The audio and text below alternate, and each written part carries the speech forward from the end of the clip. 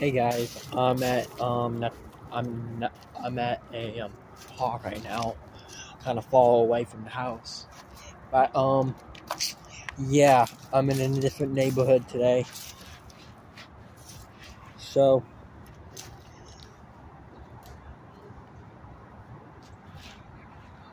I'm in a different neighborhood this point in time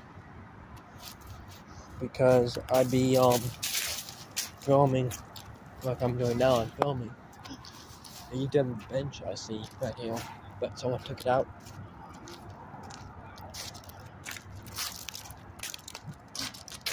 So yeah, God bless.